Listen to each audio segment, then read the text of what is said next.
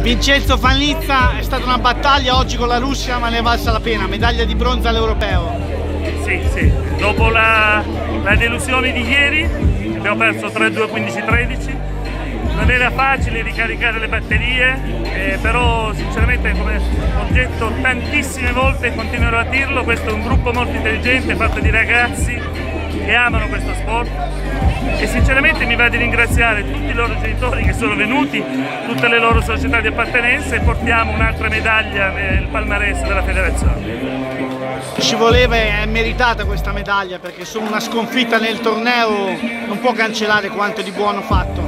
Sì, sì, sì, sì. È stato bello perché come ho già detto ci siamo ripagati di questo impegno che abbiamo, questo percorso che abbiamo fatto con i ragazzi.